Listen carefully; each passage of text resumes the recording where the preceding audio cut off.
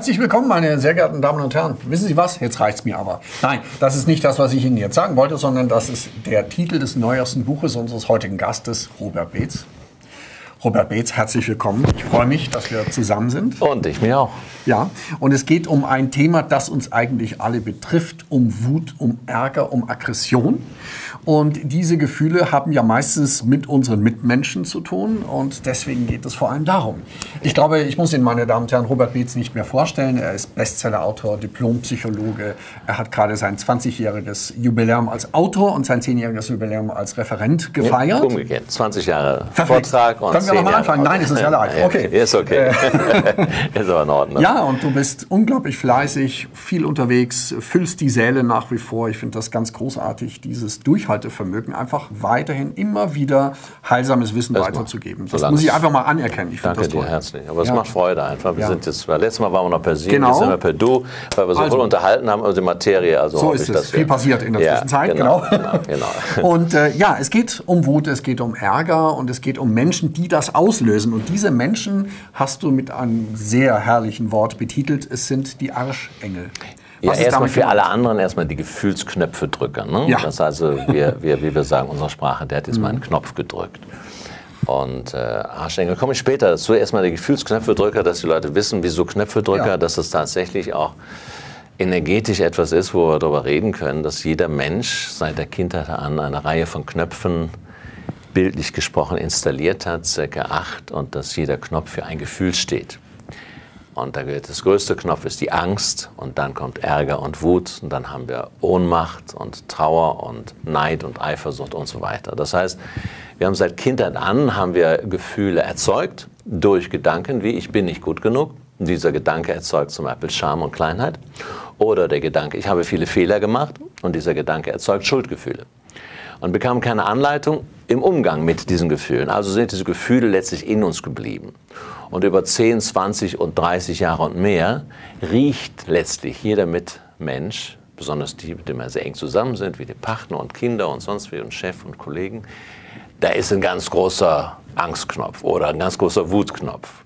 Ja, und die drücken dann mit irgendeiner Bemerkung oder mit einem Verhalten, drücken die dann unbewusst unseren Knopf und dann sind wir manchmal wie ein HB-Männchen, regen uns tierisch auf und der andere weiß oft gar nicht, äh, was ist denn los. Ja, manchmal weiß er es, weil er so gehofft hat, dass der andere sich aufregt, aber viele auch in Firmen, in Arbeitsplätzen regt sich einer auf und der andere fühlt sich tatsächlich unschuldig. Und Arschengel heißt einfach, unser Kopf sagt, dieser Idiot von Kollege oder von Chef, der mich nicht anerkennt, dieser Sohn, der nicht aufräumt oder eine faule Sack ist, ja, nicht das tut, was ich gerne hätte, oder die Tochter, die nie aufräumt und so weiter, der Partner, der fremd geht, das ist doch ein Idiot oder einer, der mir Leid verursacht. Und ich sage, wenn wir es beobachten, und das wollen wir heute Abend einige besprechen, dann sage er, letztlich ist das ein Mensch, der unbewusst eine hilfreiche, dienende Funktion hat. Das Herz sagt, er ist ein Engel, der Kopf sagt, er ist ein Arsch. Ja, also ein Hybrid, würde ich mal sagen, wie bei unserer Automobilindustrie. Mhm. Ja, einerseits. Das hat seine zwei Seiten. Für den einen, ja, für den einen Teil in uns Arsch und für den anderen Engel. Und ich wünsche jedem, dass er bei seinen Knöpfedrückern liebevoll erkennt, woher die die Macht haben, deinen Knopf zu drücken. Also der erste Schritt wäre, bist du bereit, lieber Mensch, zu schauen, welche Gefühle du unterdrückt hast, die in dir gebunkert hast und mit denen durchs Leben läufst. Du hast schon angedeutet, äh, wir werden uns heute auch um Themen und Fragen kümmern. Und. Äh, meine Damen und Herren, Sie können tatsächlich Fragen stellen. Unter dem Video ist so ein Chatfenster. Da schreiben Sie einfach Ihre Frage rein. Sie können Ihren Namen eintragen oder auch anonym, fühlen Sie sich da ganz frei. Wir werden die interessantesten Fragen hier live sozusagen bearbeiten. Und so wir freuen uns ne? über gute Fragen, über konkrete Fragen, die die Sache etwas spannender machen. Ja, und äh, okay, das heißt, das sind so Gefühlsladungen oft in uns, ja. äh, die eine ganz schöne Energie haben. Wo kommt denn die Energie her? Ist das eine gebunkerte, festgehaltene Energie? Ja, so habe ich es angedeutet schon. Ja. Das heißt, wir sind von Haus aus Gefühlsmenschen. Die meisten wissen aber nicht, woher Gefühle kommen. Die kommen nicht vom Himmel gefallen, sondern, wie eben gesagt, wir erzeugen sie. Wir erzeugen sie vor allen Dingen durch sehr viele verurteilende, negative Gedanken über uns, über die anderen, über das Leben. Aber wir fangen immer bei uns an. Mhm. Wenn ich sage, die meisten haben selber über sich gerichtet, sie haben einen inneren Kritiker und Richter und haben eine Menge Gedanken in, in sich, mit denen sie sich selber abwerten. Das Wort nicht genug. Ich bin nicht genug. Mhm. Ich bin nicht fleißig genug, nicht ehrlich genug oder nicht attraktiv genug, nicht, nicht, nicht, nicht erfolgreich genug, nicht diszipliniert genug, nicht dünn genug und so weiter. Kann jeder unserer Zuschauer selber spüren. Sagst du zu dir, ich bin wunderbar, ich bin in Ordnung und so wie ich bin, liebe ich mich. Da sagen die Leute, wow, ja, von wegen. Und das nenne ich den Krieg mit mir. Ich liege, die meisten Menschen liegen im Krieg mit sich heißt, sie verletzen sich selber durch ihre abwertenden Urteile.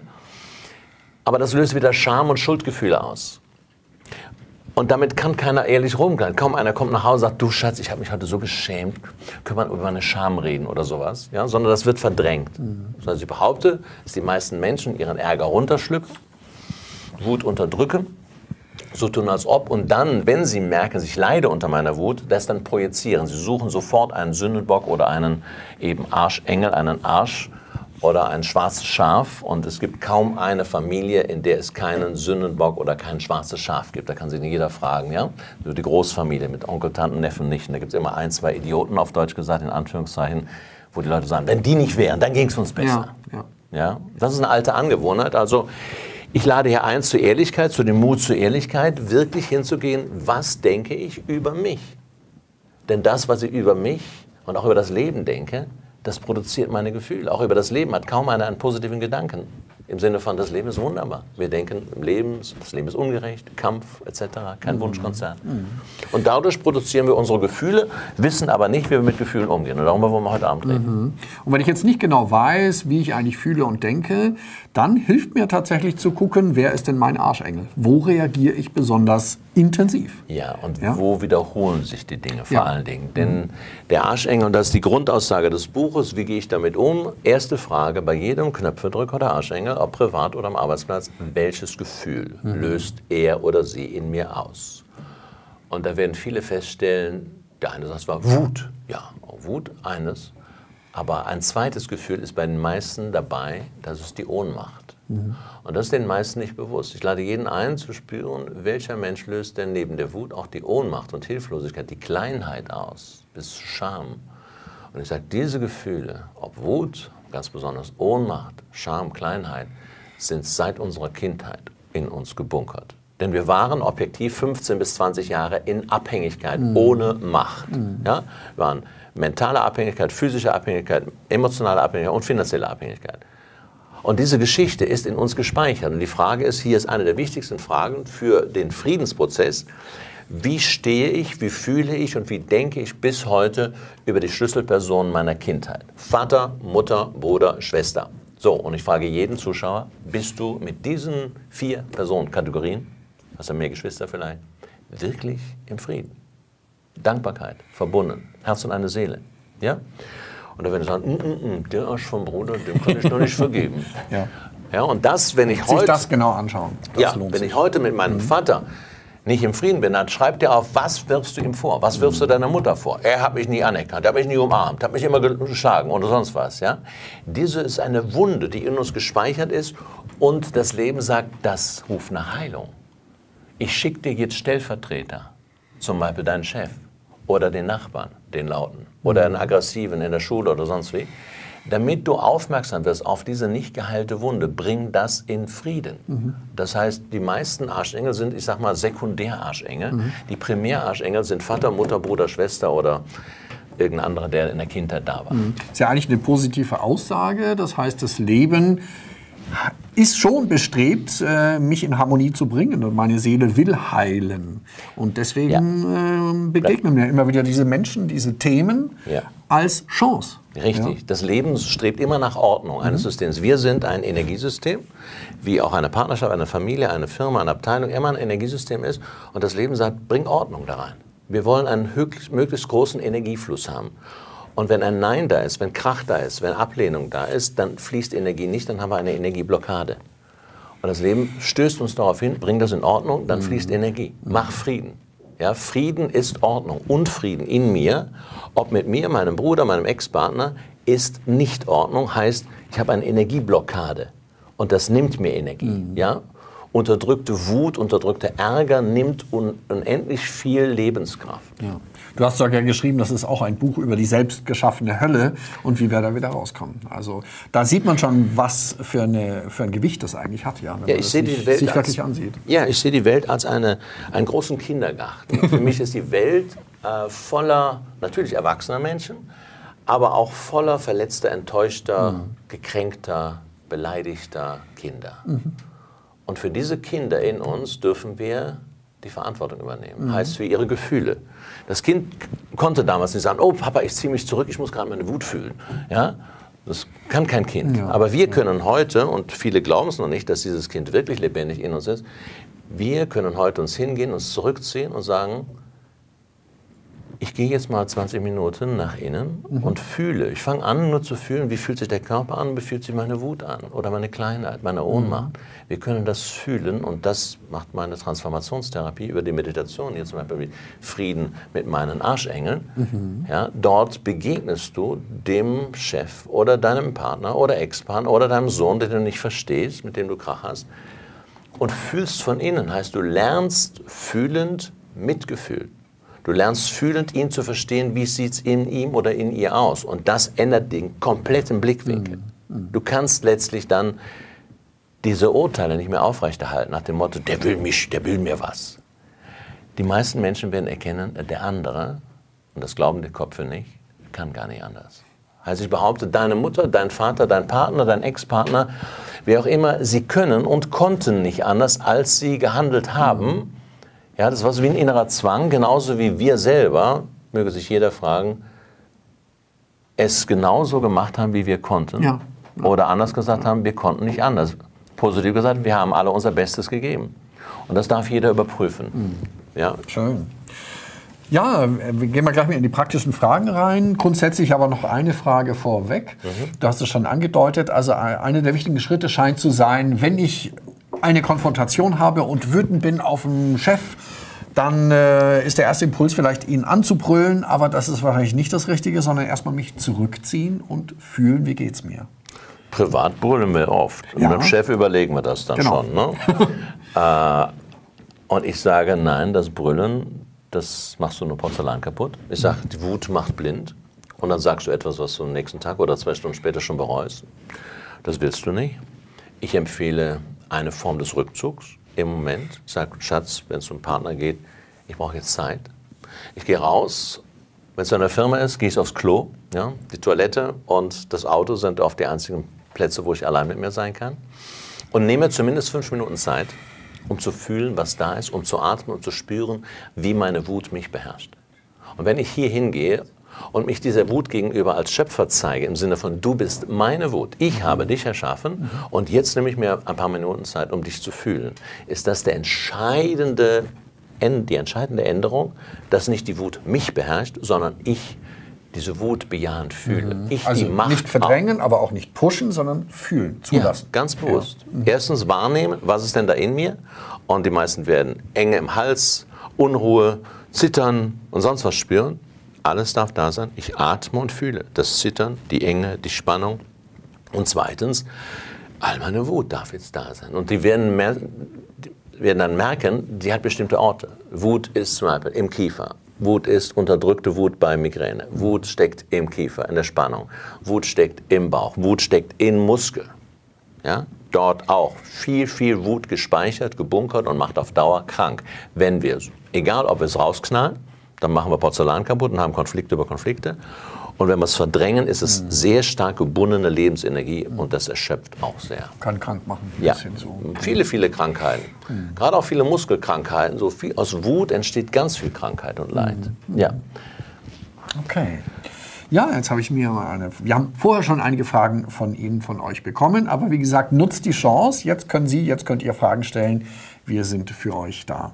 Dörte fragt, wie schaffe ich es, dass ich erst gar nicht wütend werde, wenn bei mir Knöpfe gedrückt werden? Wie schafft man es, sich nicht provozieren zu lassen, wenn man beleidigt oder verbal angegriffen wird? Ja, ist das überhaupt zu schaffen? Nein. Erstmal, sie möchte natürlich, dass es mal eine Änderung kommt. Die mhm. möchte, dass die aus dem Kreislauf herauskommt. Aber sie hat noch nicht gesehen, wie kann ich das machen. Erstmal gilt es erst anzuerkennen, in mir, der Dörte, ist Wut. Und dafür, wie ich eben sagte, gehe ich hin und sage, ich erkenne das an und ich nehme mir Zeit. Für dich meine Wut. Die Wut, wie die Angst, die Scham, die Schuld, ist mein Baby, meine Schöpfung. Und was will diese Schöpfung? Sie wünscht sich von mir, bejahend gefühlt zu werden. Gefühl heißt, geh hin und fühle. Hm. Und nicht, es heißt nicht Gedränge, sonst würde ich sagen, sonst hieß das Gefühl nicht Gefühl, sondern Gedränge. ja? wenn, ich es, wenn das angemessen wäre. Sondern ein Gefühl kommt in Fluss, im Englischen sagen es auch, Emotion heißt das, eine Energie, die sich bewegen will. Solange ich sie aber raushaue, ja, dagegen gehe, ist es ja ein Nicht-Annehmen meines Gefühls, wenn ich es projiziere und sage, du bist der Arsch, du hast mich wütend gemacht und so weiter, dann kann sie nicht in Fluss kommen dann blockiere ich sie weiter. Ein wütender Mensch, der kommt, bringt keine Energie in Fluss. Mhm. Er bringt Dinge zum Explodieren.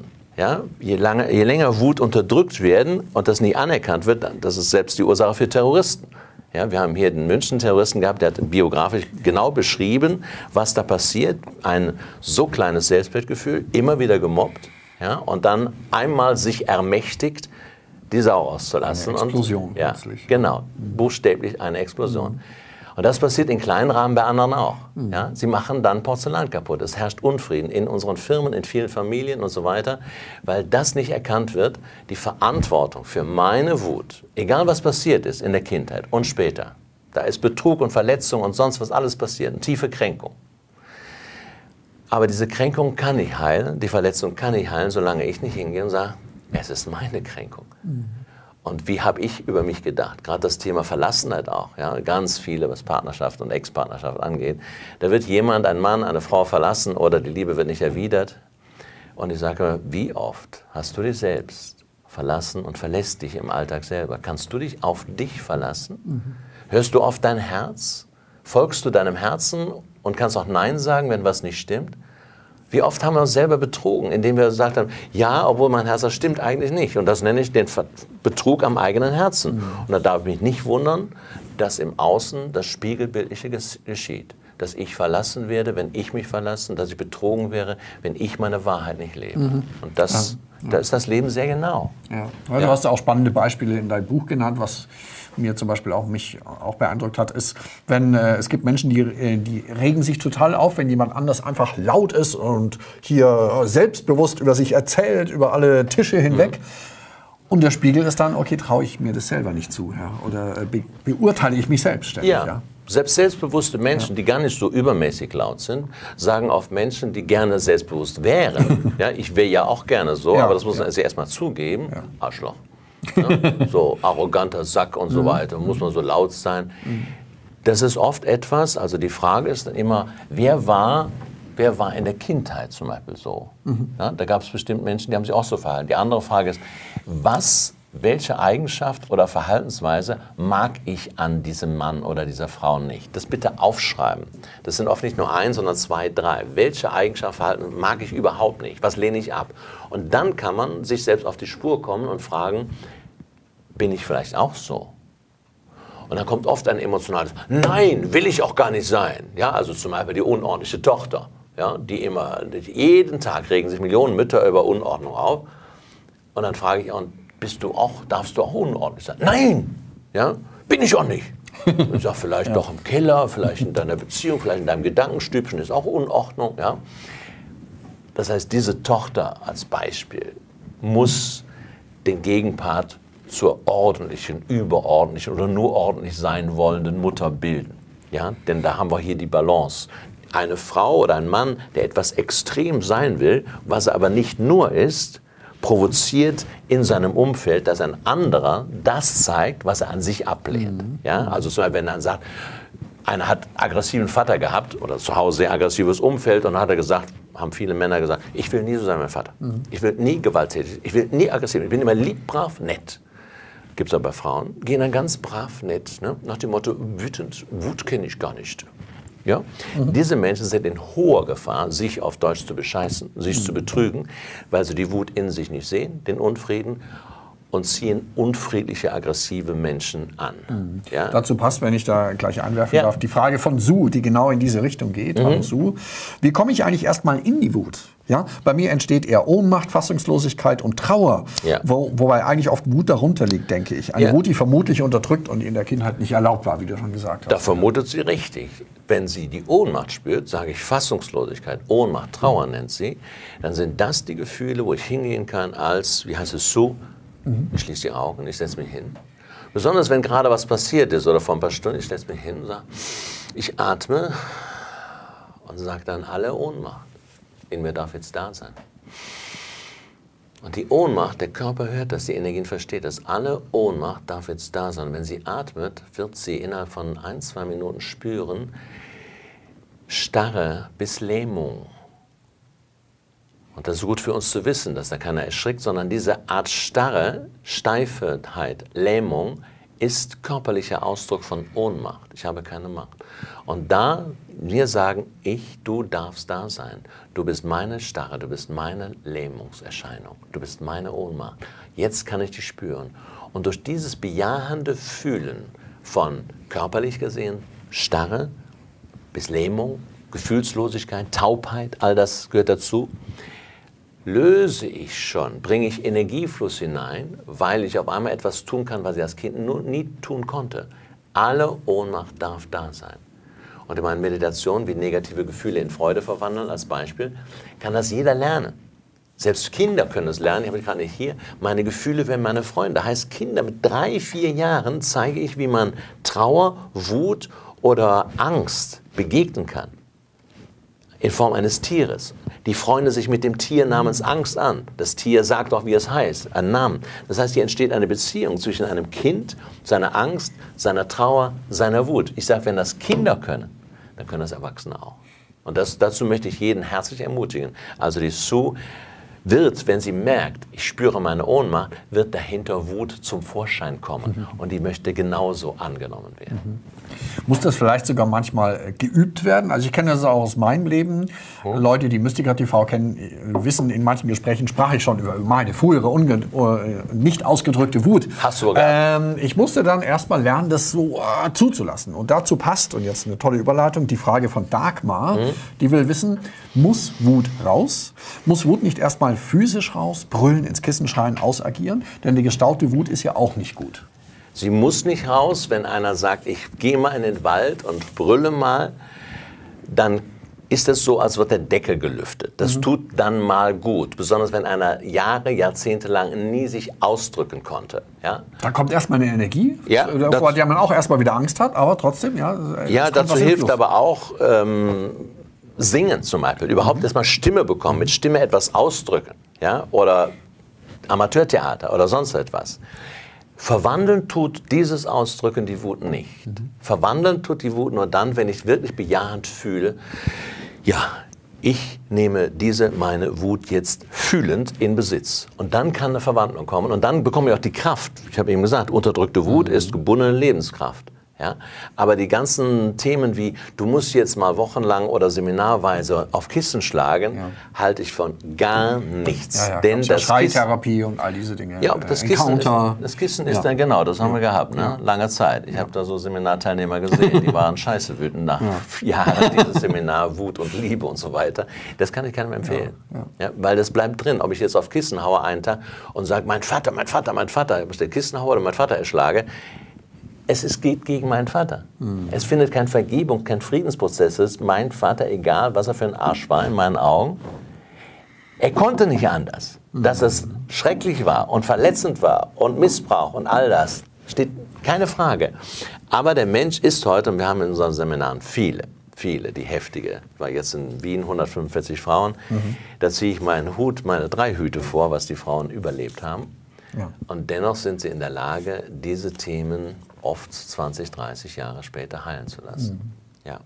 Das heißt, naja. wir können Frieden schaffen. Es ist eben auch sicher eine Bewusstseinsarbeit, die dazugehört. Auf der einen Seite zu lernen, die Gefühle wahrzunehmen und dann sich mit der Vergangenheit beschäftigen. Sollte im Grunde jeder, der jetzt nicht in Frieden mit seinem Vater oder seiner Mutter ist, sich das wirklich nochmal anschauen? Ich würde die erste Frage stellen an jeden, ob er jung ist oder alt ist. Bist du eigentlich willens, Frieden zu schaffen? Bist du, entscheidest du dich, ein friedensbringender Mensch zu werden? Entscheidest du dich, die Verantwortung für allen Unfrieden in dir zu übernehmen? Oder willst du weiter das Opfer spielen? Millionen spielen das Opfer. Das haben wir gelernt über viele Jahrhunderte. Ein Schuldiger, das System, die Frau ja. Merkel, die Idioten, die Banken und so weiter. Das ist einfach, ist aber keine Lösung, sondern fördert den Unfrieden, die Spaltung bei uns. Ja, ein Mensch, der mit Wut nach einem anderen System ruft, soll man erstmal das System zeigen. Das gibt es bisher nicht. Ja, das ja. System ist nicht die Frage, sondern die einzelnen Menschen in einer Familie, in einem Mehrfamilienhaus, in einer Abteilung, in einer Organisation. Wenn einer mit Wut im Bauch nach Frieden schreit, dann ist er in höchstem Maße unglaubwürdig. Ja, das war damals genauso, wie wir Vietnam, gegen den Vietnamkrieg gekämpft haben. Und mit Wut im Bauch Ho, Ho, Ho Chi Minh ja, mhm. einem später erkennbaren Massenmörder ja, gehuldigt haben. Mhm. Ja, das heißt, wer mit Wut auf der Straße nach Gerechtigkeit und Frieden schreit, mhm. das ist kein Friedensbringer, sondern ein Brandstifter, ja. wie wir es in Hamburg gesehen haben auch. Meine, es ist ja schon sehr weit verbreitet, auch zum Teil erstaunlich, wie viele Menschen. Ich habe einige gute Freunde, die trotzdem sich unglaublich aufregen über die da oben. Und natürlich, es ist immer beides. Es mag schon auch eine äh, berechtigte Kritik sein an manchen Gegebenheiten, die es vielleicht noch zu verbessern gilt. Vieles aber trotzdem, vieles ist eben auch Projektion. Wir haben ganz viele, wie man ganz salopp sagt, Sauereien in diesem ja. System. Natürlich haben wir ein Arm-Reich-Verhältnis, was unverhältnismäßig ist. Wir haben ja. viele Dinge. Nur die meisten benutzen, mhm. benutzen die sogenannten Ungerechtigkeiten des Systems, um ihren ganz privaten, eigenen, persönlichen Unfrieden wegzudrücken und einen Schuldigen zu suchen. Das heißt, wir haben, wenn es in der Firma geht, wir haben viele vorgesetzten Themen, ich glaube, da haben wir ein paar Fragen zu, mhm. dass der Vorgesetzte, der Chef, die Chefin, der Arsch oder auf Deutsch die Erschin ist, ja, angeklagt wird, weil das Arsch, wir haben auch ja. das Bossing auch, ja, ja, wurde auch genannt. Bossing im Sinne von Schikane durch den Chef. Ich sage, alle Themen, Auseinandersetzungen, Konflikte, die ich mit einem Vorgesetzten habe, entsprechen der Struktur der Elternstruktur. Der senkrechten Elternstruktur, deine Eltern hatten 10 bis 20 Jahre Macht über mich. Und wenn das nicht gelöst ist, dann muss ich das wiederholen im Betrieb. Konflikte zwischen Kolleginnen und Kolleginnen sind Spiegelbild von Geschwisterkonstellationen. Mhm. Denn als ich musste mit meinem Bruder, mit meiner Schwester um die Rivalität, um, um die, die, die Aufmerksamkeit und Liebe rivalisieren. Ja? Das fand ich, wenn ich anwerfen darf, sehr interessant, weil ich kenne es von manchen Psychologen, da wird immer gesagt, ja, Vater, Mutter ist das Wichtigste, ja, mit Schwester, Bruder ist nicht so wichtig. Aber es ist Extrem, eben auch. das ja. weiß jeder. Wir wissen auch, sobald ja. was zu erben gibt, ja, genau. dann ist das sehr aufdeckend, ob da Frieden ist oder ob da nur ein stillschweigendes Abkommen war. Ja, das ist extrem, das kann man verstehen. Ich frage immer Menschen, hast du ein Geschwister gehabt, das nach dir geboren worden ist? Und dann äh, sagen die, ja, ja. Und ich frage dann, und bist du noch im Unfrieden mit? Und die sagen wir, 60, 70 Prozent derer, die nach ihnen ein Geschwister hatten, haben bis heute noch Spannung.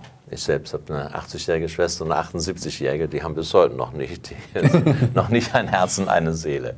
Ja, das heißt auch acht Jahrzehnte. Da sage ich wieder, die Zeit heilt nicht. Ja, die Zeit heilt keine Wunden, sondern egal, ob du 20 bist oder 70 bist, du darfst diese Verantwortung für den Friedensprozess, für den Vergebensprozess übernehmen und er fängt an bei dir. Denn nochmal, die Ur-Ur-Ursache für den Unfrieden in der Welt ist der Unfrieden von mir mit mir und mhm. meiner Vergangenheit. Mhm. Und diese Vergangenheit hat sich abgespielt eben mit Vater, Mutter, Bruder, Schwester. Mhm.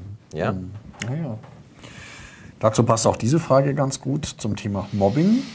Äh, mein Chef ist ungerecht und aggressiv. Dies erinnert mich an meinen Stiefvater. Ich habe Angst vor meinem Chef. Genau. Was kann ich tun? Ja. Die Situation, das Verhältnis geht um das Verhältnis zum Stiefvater, mhm. nicht um den Chef. Der Chef ist das heute die Wirkung davon. Der Stiefvater war aggressiv und sonst was. Da ist Angst in dem Mädchen gespeichert. Sie darf als heutige Frau durch die Meditationen besuchen das kleine Mädchen in dir oder befreie das heile, heile das Kind in dir zu diesem ihrem kleinen Mädchen, zu ihrer Vergangenheit hingehen in den Körper ihres kleinen Mädchens, das sie damals war, gehen und diese Angst als erwachsene Frau nochmal durchfühlen. Ja? Dann, kann das, dann wird das verwandelt. Wenn sie so viel Angst hat, soll sie eine, einen Therapeuten, Transformationstherapeutin nehmen für ein, zwei Sitzungen, dann merkt sie das. Ja? Sie wird nicht drumherum kommen, den Klärungs- und Friedensprozess A mit sich, mit dem kleinen Mädchen und mit dem Stiefvater zu machen und dann ändert sie ihre Resonanz. Ja, dann kann sie entweder einen anderen Job haben oder der Chef ändert sich oder sonst etwas. Das ist genauso beim Beziehungspartner. Wenn einer sich ändert in einem Energiesystem, kann der andere nicht gleich bleiben. Etwas passiert da, etwas löst sich da. Also das ist ein ganz klassisches Beispiel. Chefs nochmal sind in aller Regel Spiegel, Funktion oder Stellvertreter von Vätern, außer und die Mutter war zu Hause der Sheriff.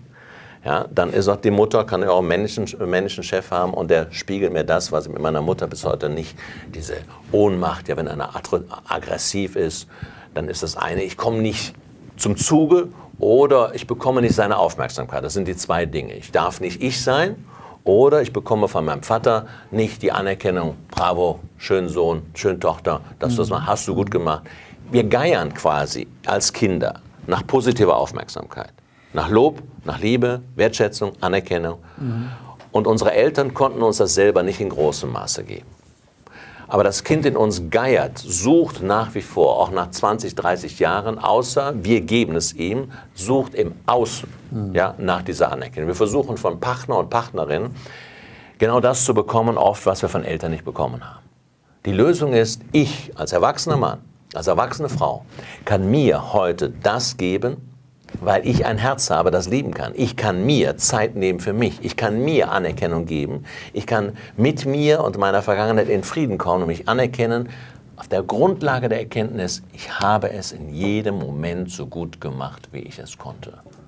Ja, die biete ich immer wieder an und wenn du, auf, wenn du weiter Recht haben willst, sagst, nein, hätte ich können. Ich sage, heute könntest du anders. Damals konntest du nicht, dein Vater auch nicht, dein Bruder auch nicht, deine Schwester auch nicht, dein Ex-Partner auch nicht. Und das ist eine friedensstiftende Haltung. Die kann ich nur jedem empfehlen.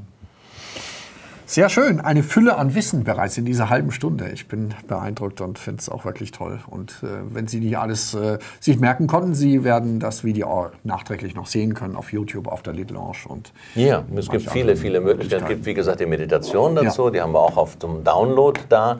Ich kann nur sagen, Rosenkrieg oder endlich Frieden. Das mhm. ist die Meditation für Partner und Ex-Partner. Selbst wenn es kein Rosenkrieg da ist. Das ist die Begegnung mit dem Ex-Partner wo ich feststellen kann, in diesem Ex-Partner ist genauso ein kleiner Junge oder kleines Mädchen, wie in mir ein kleiner Junge oder kleines Mädchen ist.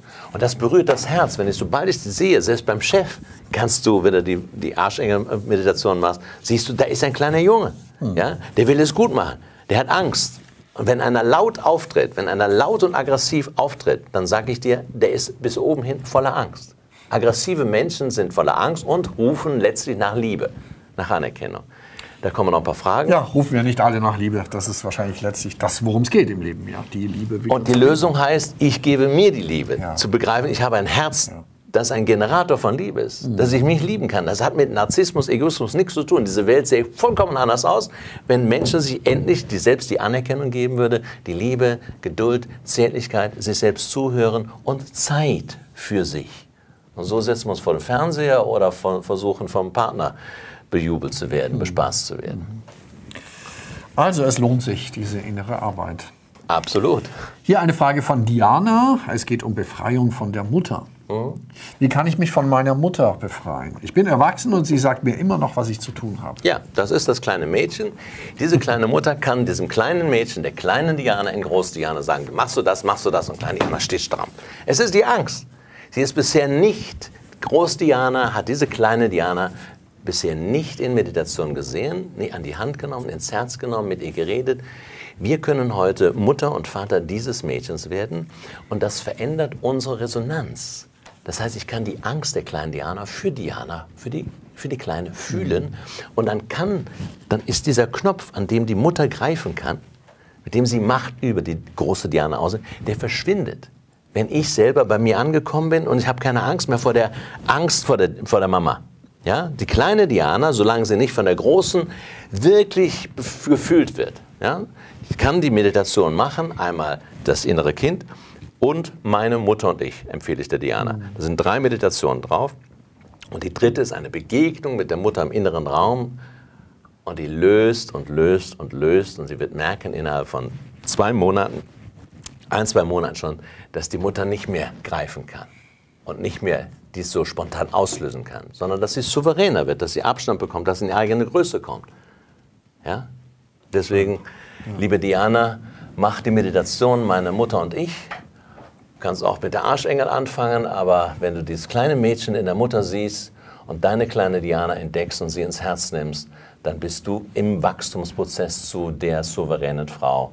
Und das trifft dann nicht nur die Mutter, sondern auch andere erwachsene Menschen zu. Jemand kann dann nicht mehr die Macht über dich übernehmen, Klar. ausüben. Ja, ein bisschen was zu den Gefühlen an sich. Da mhm. kamen drei Fragen. Zunächst einmal von Peter. Der wollte wissen, sind alle negativen Gefühle, also Wut und Hass und so, wirklich durch frühere eigene Erlebnisse entstanden? Ja, nehmen wir die negativen Erlebnisse einfach nicht bewerten, sondern das sind die unangenehmen Emotionen. Ja, das unangenehmen ja. ja, die meisten sind von uns selber, wie ich eben sagte, erschaffen worden.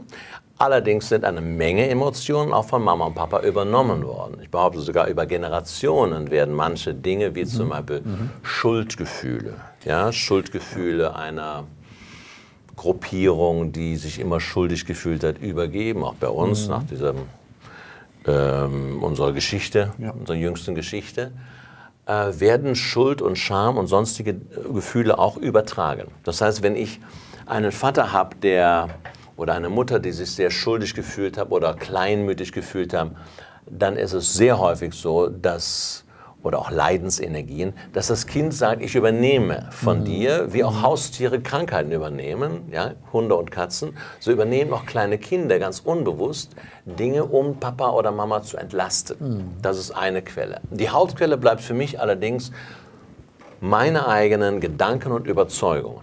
Eine Überzeugung zum Beispiel, Liebe bedeutet Schmerz oder diese Welt ist unsicher. Ja. wenn ich das grundsätzlich, ich höre es von Mama, Papa, die Unsicherheit, die gucken fern, sagen, das ist die Welt, guckt das an, ein Chaos, dann habe ich ein Weltbild, heißt Chaos, Kampf, Krieg, unmöglich.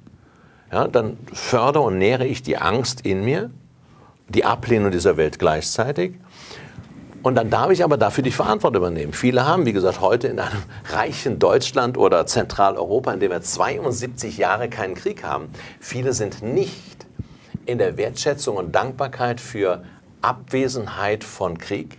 Ja, gestern noch ein, doch, wir sind letztlich sind wir in einem Art von anderem Krieg. Ja, es gibt Terrorismus, es gibt viele Dinge, aber wir haben keine Bombennächte hier. Und das seit 72 Jahren, das gab es noch nie. Absolut, ja. In die Gewalt ist zurückgegangen, die, der Hunger ist zurückgegangen. Hunger ist zurückgegangen, die Bildung ähm, ja, äh, ja. ist sehr stark angestiegen. Ja. Wir haben heute nicht mehr die dritte Welt wie vor 20, 25 mhm. Jahren. Es gibt viele Missstände, aber viele wollen das gar nicht sehen. Sagen, mhm. nein, ich will mein schlechtes mhm. Weltbild haben, dann kann ich wütend sein und weiter dagegen. Mhm. Ja? Und das ist ein Kleinkindverhalten. Ja. Das kann man machen, aber das hat nichts mit Übernahme von Verantwortung zu mhm. tun. Ja, und das ist vielleicht auch so ein bisschen nicht gerade die Gefahr, aber wo man es falsch verstehen kann. Nämlich, man kann ja auch süchtig werden nach einem Gefühl. Ne? Also Eva will wissen, yeah. wenn ich wütend auf jemand bin, fühle ich mich so lebendig wie selten. Manchmal habe ich sogar das Gefühl, süchtig nach diesem Zustand zu sein. Gibt es überhaupt so etwas wie positive Wut, will sie wissen? Wut ist weder positiv noch negativ. Mhm. Wut ist einfach ein Gefühl, ja. das ich fühlen kann, das ich entweder übertragen kann mit einem Angriff auf andere, von dem ich abrate, weil das gibt mehr Wut. Bitte nicht. Ja, ja. Ich sage, diese Wut bei der Eva, das ist gebundene Lebensenergie und sagt, als Wut spüre ich mich lebendig, aber sonst noch nicht. Ja. Ja, sie darf in die Wut hineingehen und mal das Kochende spüren, ohne die Wut auszuagieren. Mhm. Dann wird sie merken, wie viel Leben in ihr ist. Und dass sie dann nicht mehr wütend sein muss, um ihre Lebendigkeit zu spüren. Das heißt, unsere Natur, natürliche Lebendigkeit hat mit Wut gar nichts zu tun, sondern mit Freude. Mhm. Und das darf sie mal fragen, wie viel Freude ist in ihrem Herzen. Ich sage, die Menschen dürfen sich entscheiden, wir wollen ja alle glücklich sein, letztlich. Ich glaube, da sind wir uns einig. Nur Glück no? ist keine Glückssache. Ja. Und wenn ich mir ein Leben der Freude erschaffen will, dann darf ich mich wirklich entscheiden. Ich erschaffe mir ein Leben der Freude. Und das haben Sterbende begriffen bei dem Buch, was Sterben am meisten bereuen, war ein Punkt. Und der hat mich am meisten überrascht, dass sie sagten, mir war nicht bewusst, dass Freude eine Sache der Entscheidung ist. Heute weiß ich kurz vor meinem Tod, ich hätte mich entscheiden können, ein Leben der Freude zu leben, ein glückliches Leben. Aber ich wusste es nicht. Und deswegen möchte ich das allen 20-Jährigen und 40- und 80-Jährigen sagen, entscheide dich bewusst Ich frage immer in meinen Vorträgen, wer kann sich erinnern, sich einmal bewusst entschieden zu haben, sehr klar, ich wünsche mir, ich will ein Leben der Freude entscheiden, leben. Mhm. Oder ich will mich für ein Schön. glückliches Leben. Ja. Und kaum einer kann sich erinnern daran und sage ich, dann hast du dich unbewusst für ein Gegenteil entschieden. Übernimm dafür die Verantwortung und mach das nochmal bewusst. Was willst du hier leben? Das ist eine der Grundfragen.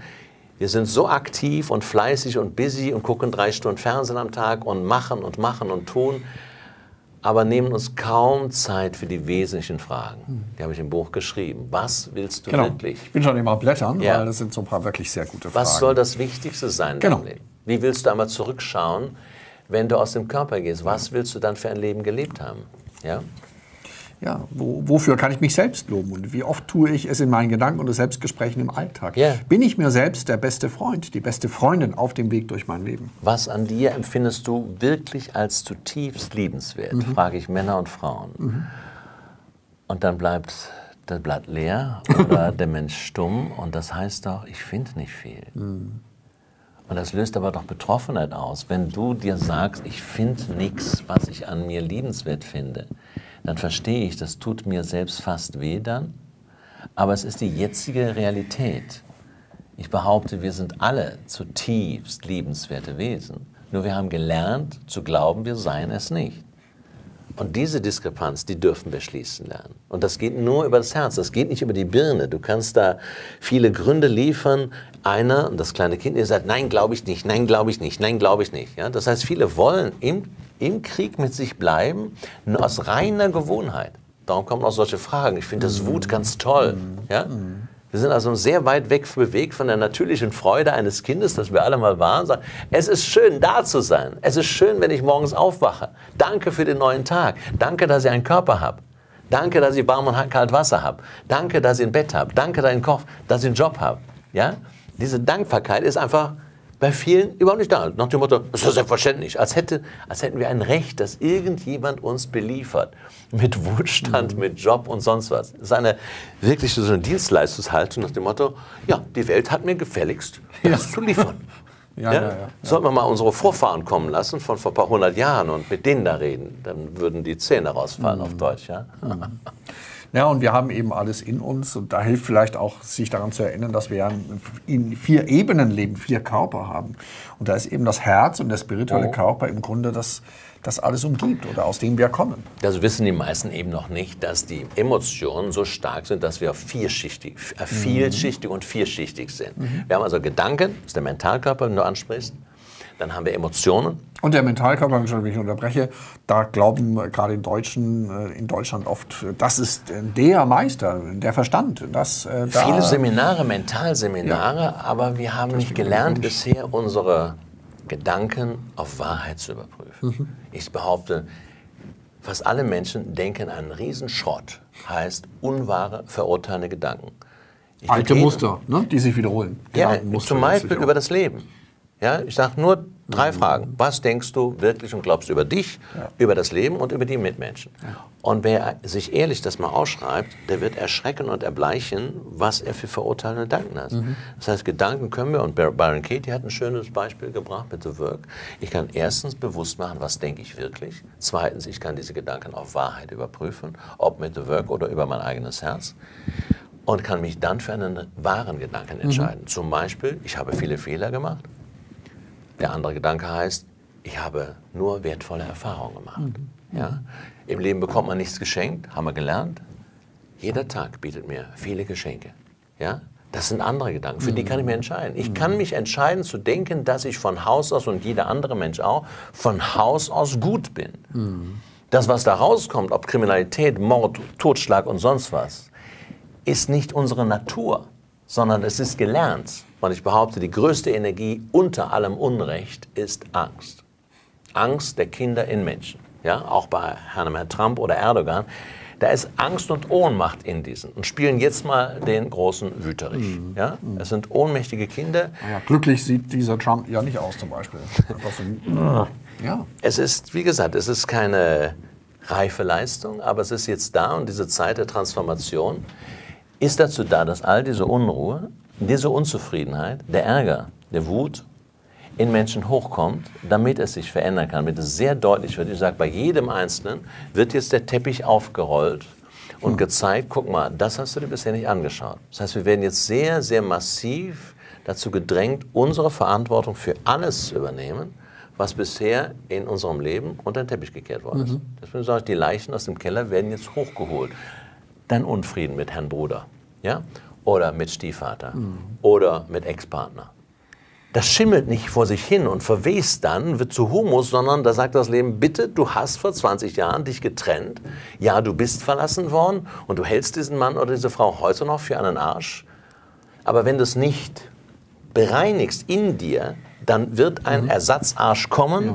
und in dieser Wunde nochmal wühlen. Und sozusagen, du hast dich ja nicht getrennt von diesen Menschen, sondern von einem gewissen Aspekt in dir selbst. Genau, ja. genau, von einer Wunde. Der kommt dann und legt seine Finger in deine Wunde ja, ob das eine ganz einfache Frage ist, wenn der Mann sagt, du, meine Mutter hat aber die Rollade besser gekocht, ja, dann sagt die in der Regel nicht, da freue ich mich aber für deine Mutter, ja.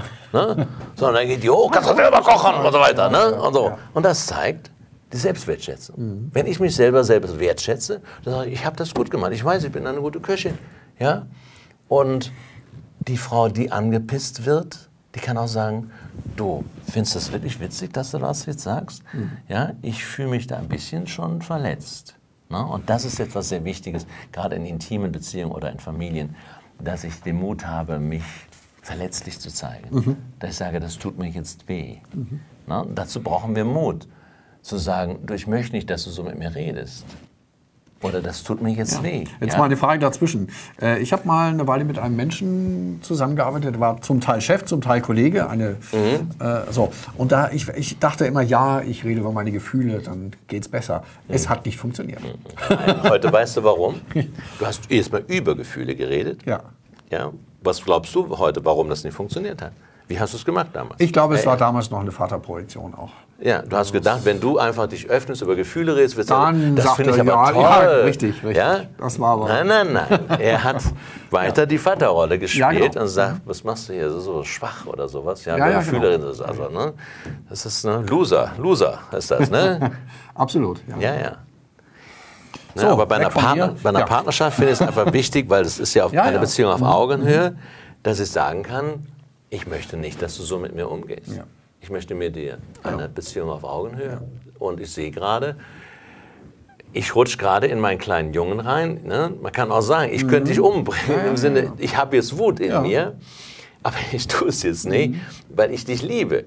Ja, ich möchte mit dir aber klarkommen und schau mal, welche Gefühle bei dir sind. Ja. In diesem Sinne können Partner über Gefühle reden. Das ist die Chance. Na? Dann kommt man sich wirklich näher. Das ist Verletzlichkeit ist für mich ja Intimität, Intimität fördern. Ja. Haben wir noch Fragen? Aber natürlich. Welche denn? Über Kinder haben wir noch nicht gesprochen. Ist oh auch ein großes Thema. Da haben wir gleich zwei Fragen. Schauen wir mal, ob man die sogar zusammenbringen kann. Ja, auf jeden Fall.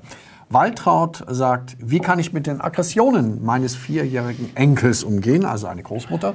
Und Anna fragt, wie reagiere ich auf die Wutausbrüche meiner Kinder? Das auf zwei Weisen. Erstens, die erste Frage wieder, was lösen die Aggressionen des Enkels in Oma oder Mama aus mhm. oder in der Anna? Mhm. Die werden sagen, Ohnmacht. Ich fühle mich einem vierjährigen Enkel ohnmächtig ausgeliefert, einer Wut. Punkt 1. Das heißt, sowohl Oma als auch Mama dürfen hingehen und anfangen, ihre, ihre Ohnmacht zu fühlen. Ja? Ihre wirkliche Ohnmacht zu fühlen. Wenn der Enkel vor denen steht und sie sagen, ich, ich kann jetzt gar nichts machen. Ja? Dass sie, wenn sie nicht mit dem Enkel zusammen sind, eine halbe Stunde später, da ist die Situation noch da und sie fühlen diese Starre und diese Ohnmacht. Punkt 1. Zweitens dürfen sie sich fragen, wo in dieser Familie, hier Oma mit Enkel, mit wem, wem gegenüber empfindet die Oma Wut? Nicht dem Enkel gegenüber, vielleicht der Tochter, dem Schwiegersohn oder wem gegenüber? Mhm. Ja? Wie ist die Oma, diese Frau und auch die Anna, die Mama, bisher mit Wut umgegangen? Darf die Wut zeigen? Enkel und Kinder müssen oft das zeigen, was Papa und Mama oder Oma und Opa sich nie erlaubt haben ja? und nie angeschaut haben. Das heißt, auch Kinder sind und Enkel sind aufdeckende Figuren und zeigen die Aggression, die im Familiensystem da ist. Also beide Dinge. Und die dürfen Sie mal schauen und hingehen, ich bin bereit, meine Wut zu fühlen und Frieden zu machen mit dem, mit mir, worauf ich bei mir wütend bin und bei anderen. Der Enkel hat also eine wichtige Funktion mischt hier die Anna auf und dort die Oma. Mhm. Ja? Und sagt, bitte mach Frieden in dir. Mhm. Ja? Schön. Ja, noch eine Frage zum Kind und zwar eher zum inneren Kind von Grüni, Gini. Mhm. Grüni oder Gini, ich hoffe, Du fühlst dich angesprochen. Die Frage ist, wie kann das Kind in mir Frieden finden? Ich habe keine einzige gute Erinnerung an meine Kindheit. Ja, das haben viele. Hm. Und dennoch gab es meistens welche, das erleben wir immer in Meditation, Befreie und heile das Kind. Da habe ich eine Meditation, da decken wir positive Erinnerungen auf. Da führt das innere Selbst ein zu einer angenehmen Situation in der Kindheit. Und eine andere, da führen wir dorthin, wo das Kind anfängt, einen Bruch zu erleben mit sich, mit Vater, mit Mutter und so weiter und fängt sich zu verurteilen. Wie war die Frage nochmal ganz? Wie kann ich jetzt... Ähm, ich habe keine einzige gute Erinnerung an meine Kindheit. Wie kann das Kind in mir Frieden finden? Ja, indem, indem dieses unfriedliche Kind erstmal ja. sieht und wahrnimmt. Ah, ja, indem ich okay. zurückgehe. Wir haben mehrere Meditationen. das will man vielleicht nicht sehen, aber... Das weiß ich nicht, ja. aber das ist, wäre die Frage an ja. die Frau. Sagen, der Frieden entsteht mhm. durch die Wahrnehmung, die Annahme und das Durchfühlen allen Unfriedlichen. Ja? Das ist bei allem so. Ich komme zur Freude durch die Wahrnehmung der Trauer oder der Depression oder was auch immer da ist. Das, was jetzt da ist, in der Frau, in dem Mann, das, was jetzt da ist, möchte gefühlt und wahrgenommen und angenommen werden. Das heißt, alle Wut, alle Angst, alle Scham, alle Kleinheit, darf jetzt da sein. Und wir können es körperlich fühlen. Ja, jede Emotion, wie Angst, spürt sie wie Enge im Hals, in der Brust oder sonst wo. Eine Wut spürt sich nochmal wie Hitze oder Spannung im Kiefer, in den Muskeln, im Bauch Hitze. Und das möchte, das ist nochmal ein Gefühl und eine Empfindung wollen in der Stille, in der Meditation gefühlt werden. Und das verwandelt. Die Leute denken immer, dass so eine heiße, heftige Energie wie Wut so irgendwie abgeschossen werden muss. Ja? So eine gleichwertige, heftige dagegen. Mhm. Nein, egal ob Kleinheit oder Ohnmacht, Wut oder Hass. Hier, die Liebe unseres Herzens ist der Verwandler. Wir dürfen unser Herz öffnen für den Hass in uns. Auch wenn viele es nicht wahrhaben wollen, die meisten Menschen hassen sich in der Tiefe selbst. Sie lehnen sich ab. Kein Wunder, dass wir in der Welt Krieg haben. Würden wir uns verzeihen, unser Herz öffnen, unsere ungeliebten Teile in uns, wozu besonders unsere Gefühle hören, von Herzen annehmen und durchfühlen, sehe die Welt morgen sofort anders aus. Und dahin geht der Weg. Schön. Das können wir alle. Ja, Liebe ist der Transformator und jeder kann lieben, mhm. wenn er bereit ist, mhm. sein Herz zu öffnen. Schön. Wenn wir jetzt Zuseher haben, die sagen, ja, ich habe so viel Leid in mir, ich kriege das einfach nicht hin. Ist es dann sinnvoll, zu einem ja, Beratertherapeuten zu gehen, zur Transformationstherapie zu gehen? Wann ist vielleicht so der Punkt, wenn man für sich selber spürt, ich versuche mal an mir zu arbeiten, aber ich komme nicht weiter? Was ist Selbst so für drei Empfehlung? Sitzungen zu einem Transformationstherapeuten zu gehen, ist extrem sinnvoll. Wir mhm. haben ja relativ wenig im Vergleich zu anderen Therapien, viel weniger Sitzungen, ob das hier 10 oder 20 sind. Aber selbst wenn er sagt, ich, habe, ich möchte eine Anleitung haben, ich möchte eine Anleitung haben, an meiner Angst zu begehen, meinem kleinen Kind, geht das? Ja. Ich sage, mach drei mhm. Sitzungen bei einem unserer vielen hundert Transformationstherapeuten in Österreich, Deutschland und der Schweiz. Stehen auf der Website, erste Seite anklicken, unten steht Therapeuten und Coaches deinen Ort eingeben und dann kommen die, die in der Nähe sind. Mhm. Ja? Schön. Absolut, absolut sinnvoll. Gerade dieses Ich hole mir Hilfe ist ein Zeichen von Stärke. Mhm. Ja? Den Mut zu haben. Ja, Den Mut zu haben, ja. Wie gesagt, ich hätte es mir damals gewünscht. Mit 40, 42 hatte ich Panikattacken. Ich habe drei Therapeuten kontaktiert und mhm. keiner war in der Lage, trotz Professorentitel, mir zu zeigen, wie man Panik fühlend verwandelt. Mhm. Gesprächstherapie mhm. stattdessen. Ja. Schön. Ja, nochmal hier das Thema über Gefühle sprechen. Ich sprach vorhin äh, darüber mit meinem Kollegen und Chef. Das yeah. war, hat nicht so funktioniert und es funktioniert eben auch manchmal in der Partnerschaft nicht. Renate fragt, fragt mhm. ich spreche mit meinem Partner gegenüber oft offen über meine Gefühle. Er fühlt sich dadurch lediglich manipuliert und kann damit nicht umgehen. Das verletzt mich. Was soll ich tun? Ja, wir dürfen jetzt mal Mäuschen spielen im Geiste, wenn Renate mit ihrem Partner über Gefühle spricht. Ich kann mir gut vorstellen, dass ihr Partner sich dadurch völlig überfordert fühlt. Ja, viele Frauen sind näher an ihrem Herzen, näher an Gefühlen und sagen, ich rede jetzt mal, ich rede nicht, ja, und, und erwarten unbewusst oder bewusst vom Partner, ja, das musst du doch jetzt mal auch können, jetzt öffne dich mal. Ich öffne mich jetzt hier so, aber bitte jetzt komm du auch. Und der Partner ist ein kleiner Junge, der sagt, oh, oh, oh, oh, oh. Ja, der ist völlig überfordert. Und die Frage, wenn Renate ihren Partner liebt, dann darf sie vielleicht mal den kleinen Jungen wahrnehmen, aber den kann sie nur wahrnehmen, wenn sie die kleine Renate in sich wahrnimmt. Nochmal, in Partnerschaft kann ich nur den anderen dann verstehen, wenn ich mich so tief verstehe, dass ich das Kind in mir, den kleinen Jungen, das kleine Mädchen wirklich in Meditation erlebe, wahrnehme und eine Beziehung anfange zu diesem inneren Kind.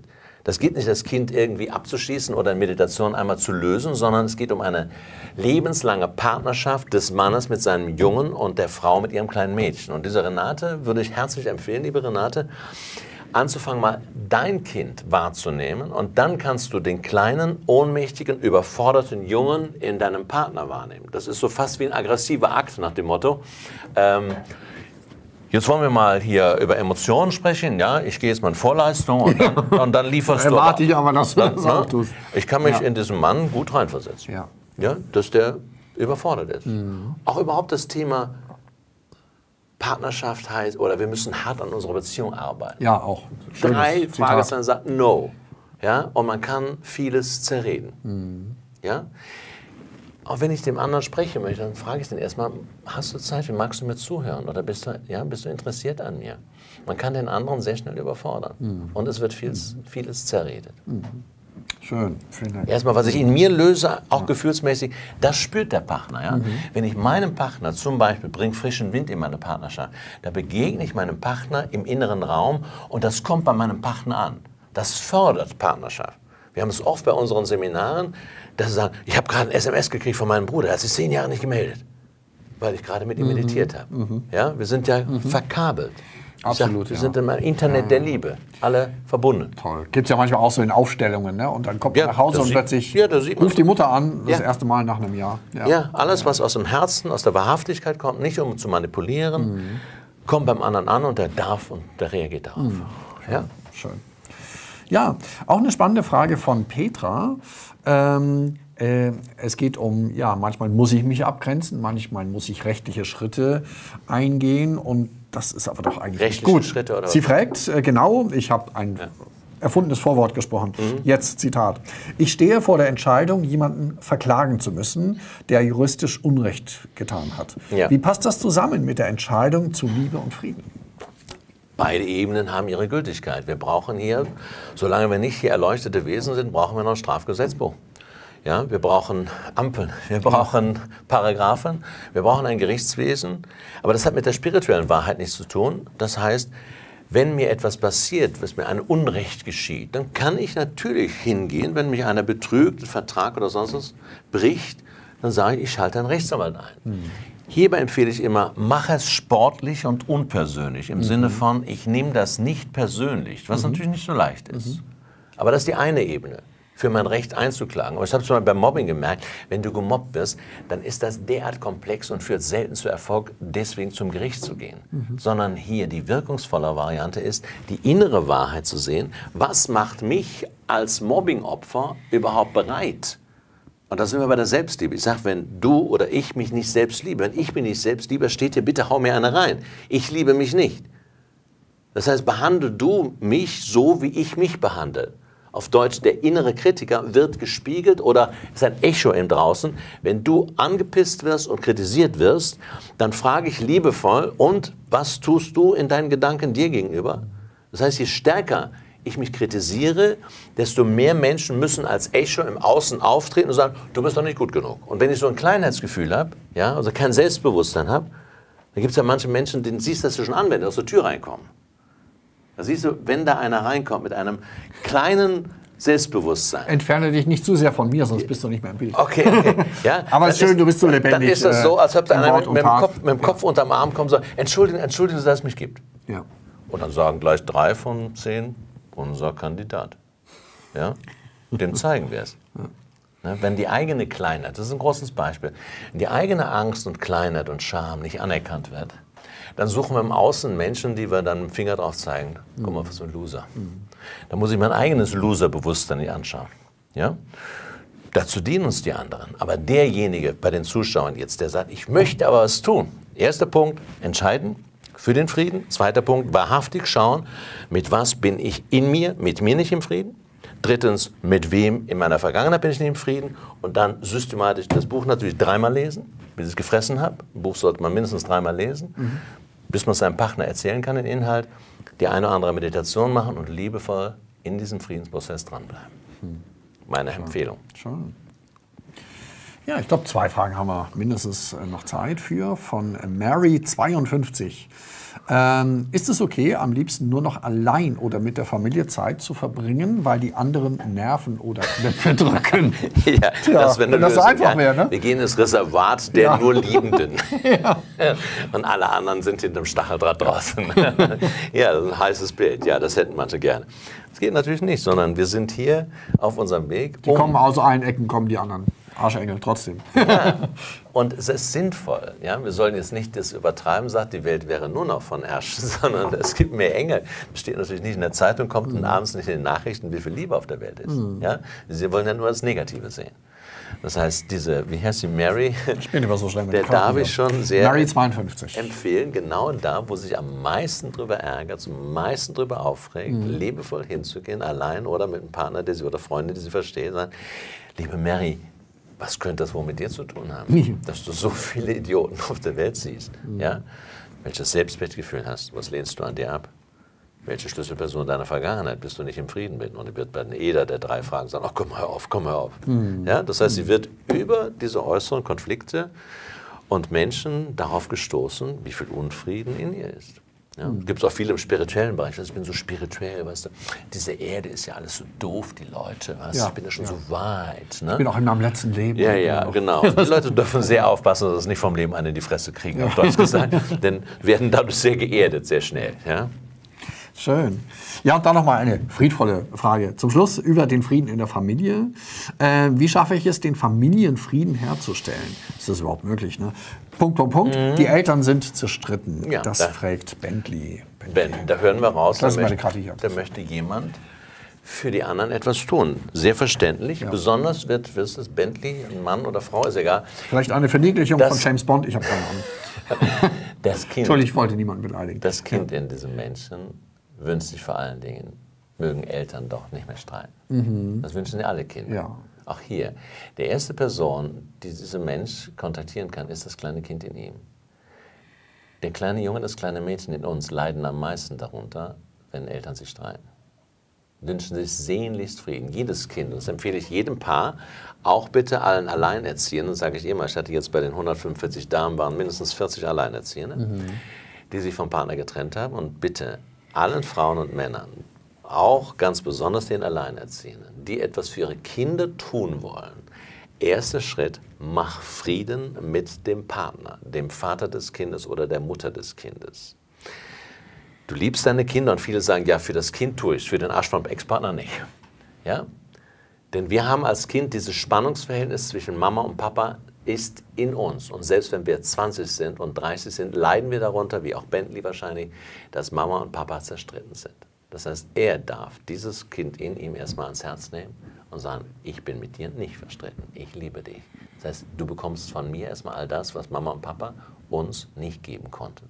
Ja, das ist der erste Schritt. Und dann kann er oder sie mit meiner Mutter, meinem Vater, das empfehle ich sehr, ich empfehle mit dem Vater anzufangen, weil der Vater die kleinere Nummer ist. Mit der Mutter sind wir in weit höherem Maße verstrickt. Erst mit dem Vater mal ein, zwei Monate, einmal die Woche diese Meditation machen und danach zur Mutter übergehen. Auch hier muss er den Papa, Mama nicht kontaktieren, aber da er, Bentley oder sie, ein Teil des Familiensystems ist, wird das sehr segensreiche Auswirkungen auf Vater und Mutter auch zwischen beiden haben. Mhm. Ja, das kann ich herzlich empfehlen. Wunderbar. Ja? Das heißt, wir, wir können wirkungsvoller mhm. arbeiten, ohne dass wir die Leute sehen. Es ja? hat eine Wirkung. Es hat ja? so oder so eine Wirkung. Und ich bin, bin auch nicht der, der Meinung, der sagt, ruf deine Mutter an und sag, wir müssen reden. Ja? Mhm. Dann kommen manche so aggressive Fragen. Sag mal, Mutter, wolltest du mich eigentlich haben? Mhm. Ja. ja. Mein Gott, die arme Mutter, was ja, soll die sagen? 75 Jahre und sagt, ich wollte dich nicht abtreiben und sowas. Völlig überfordert, genau wie der Ehemann. Sondern erstmal im Innen arbeiten, Nähe schaffen, fühlen, was fühlt die Mutter heute? Das Kind, das mit der Mutter, auch das Kind der Mutter sehen. Und das macht das Herz so offen, wenn ich dann in meinen Meditationen, wie gestern Abend auch, wenn die am Ende des, den Strand des Friedens sehen und dann lasse ich die Eltern kommen mit ihren Kindern und ich komme mit meinem Kind, das ist sehr aufweichend, herzberührend. Und das öffnet den Weg für Frieden. Schön. Das ist ein sehr schönes Schlusswort. Vielen Dank, lieber Robert. Schon ist die Stunde vorbei. Ging aber schnell. Ja, also sehr lebendig, sehr spannend, wunderbar. Du warst auch der erste Gesprächspartner, der hier äh, zwischendurch ein bisschen herumgelaufen ist. Finde ich auch toll. Das ist die Lebendigkeit und ich glaube, der Kameramann hat es super aufgefangen. äh, meine Damen und Herren, das war's. Vielen Dank, Robert. Auch sehr ich habe echt noch einiges gelernt. Sehr, sehr schön. Danke dir, Vanessa. Und äh, wenn Sie das nochmal sehen wollen, wie gesagt, es wird auch auf der Lead Lounge später als Video zu sehen sein, auch auf YouTube. Ihr könnt natürlich gerne noch Kommentare hinterlassen. Ich hoffe, es hat euch, es hat Ihnen gefallen. Und äh, lesen Sie ruhig nochmal nach, da steht alles drin. Sehr lebendig geschrieben, sehr spannend. Dann sage ich einen wunderschönen guten Abend euch. Alles Gute. Hier ist die Abschlusskamera. Bye bye und vielleicht bis zum nächsten Webinar. Danke fürs Zuschauen.